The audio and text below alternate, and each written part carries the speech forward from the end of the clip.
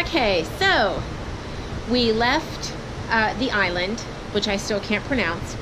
We left the island. We got on the ferry. We ferried over, um, and as we were leaving the little port where the ferry is, um, we were trying to cross the street and we were doing it wrong. At least that's what we thought. And a gentleman hollered to us, "No, no, no, not there, not there!" and told us to go to the stoplight. So we went to the stoplight, and as we're crossing, there's two buses there, and we thought that they were the public transportation buses, and they were not.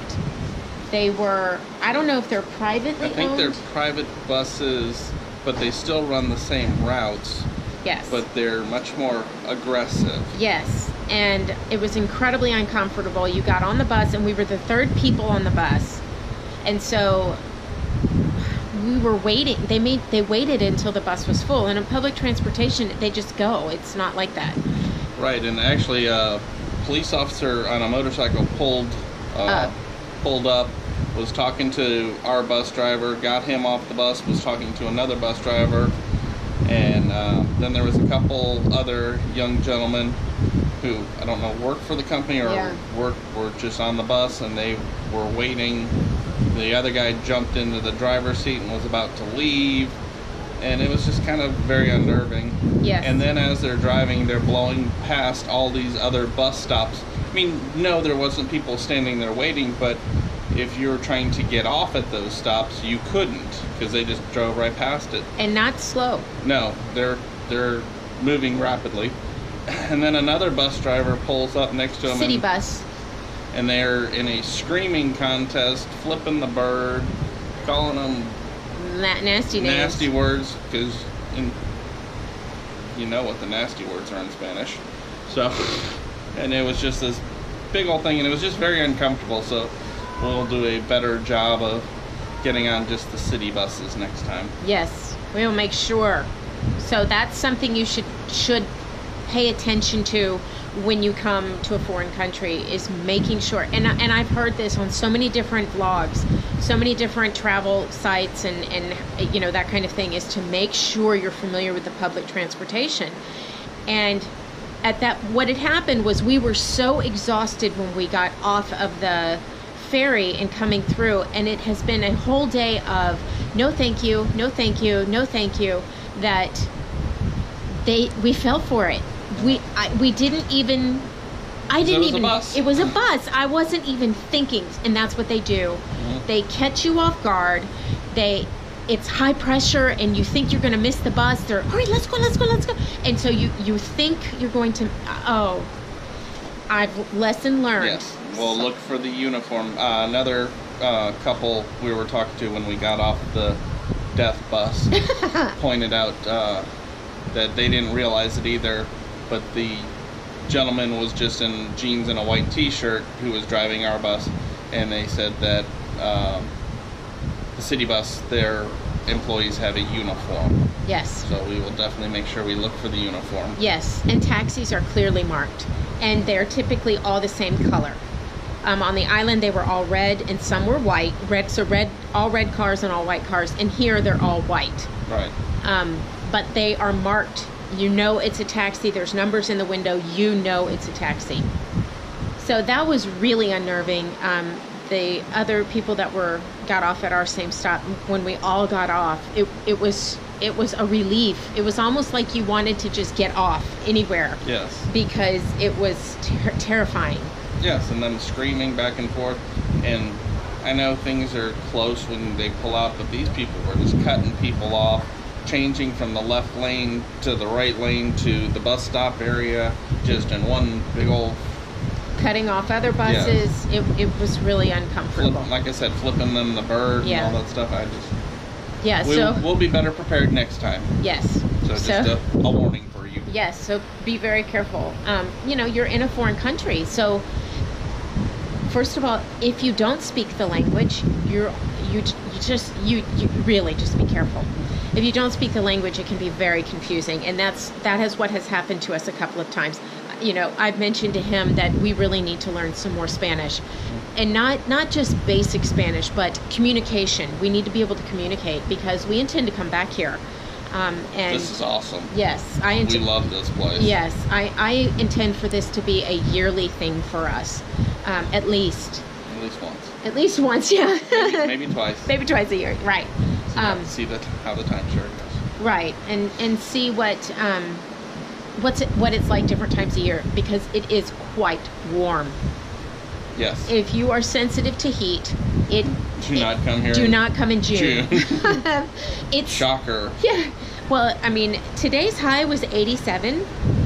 It felt, and I'm from Texas. We're from Texas. We are used to hot and humid. This is a whole other level of hot and humid. Well, that and you know, at home, you know, you're running someplace. Yeah, and you're not out for you're- long. Yeah, I mean, we were outside all day hours, hours. Yes. and had a great time though. Had a fantastic Beach time. was awesome. Yes. Yes. So if Golf cart was cool. the golf cart was fun, of course we were in in the you know the slowest cart there was, but that's okay. we still had fun. We had a blast, yeah. So, and it's nice because if you want the calmer waters, you can just ferry across to the island, and the water over there was crystal clear and calm. And there were a lot of people, but it wasn't uncomfortable. I didn't find it uncomfortable. No, I didn't think it was overly crowded. No, and of course we just took a peek at North Beach. We didn't really explore it very much. Next time, next time we'll explore it, and I'll be looking for videos on it on uh, YouTube because you know that's how you learn to travel. That's what you learn, what you like and want to do, and get the experiences from people like us and other people doing it. And you know, I talked to my brother, and if he hasn't been there, we YouTube it right? Yes, his brother frequently comes to Cancun. and travels travels extensively. extensively. Um, so, yes. And then, so we got back to the hotel. We came in and we took a shower. Yes. We removed the day's sea salt and sweat. and then we went to dinner. And um, I didn't bring the camera for dinner. And I really wish that I had. Um, I don't know why I didn't. I was exhausted, and so I just thought, you know what, we'll just not have the camera tonight. We'll but insert pictures. I'll insert some pictures. This restaurant, it all, I mean, I almost cried. I was so excited because I love Mexican food, Tex Mex Mexican food. Um, here in Cancun, it is Mexican food.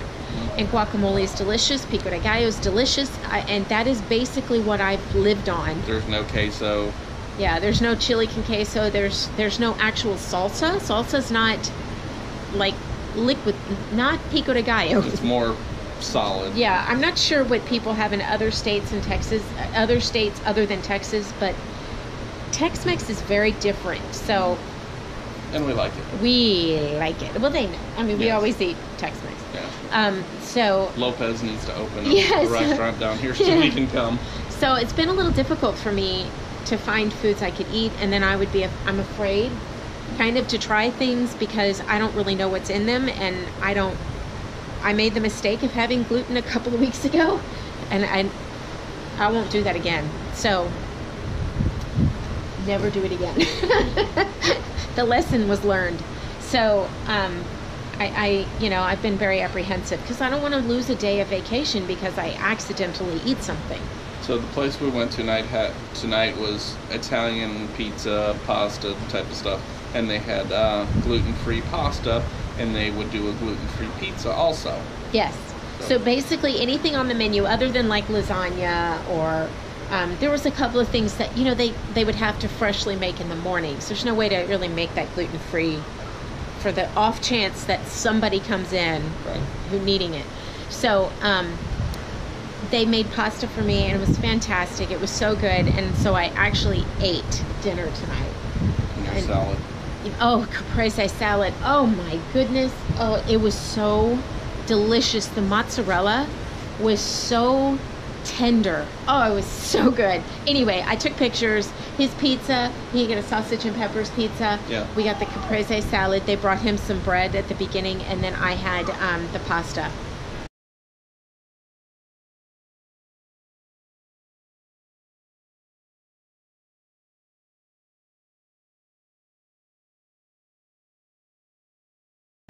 Yum.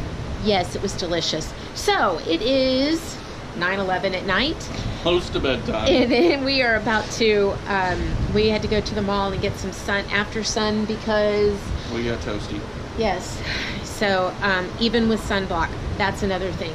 The sunblock that you are required to use for a lot of places is biodegradable sunblock.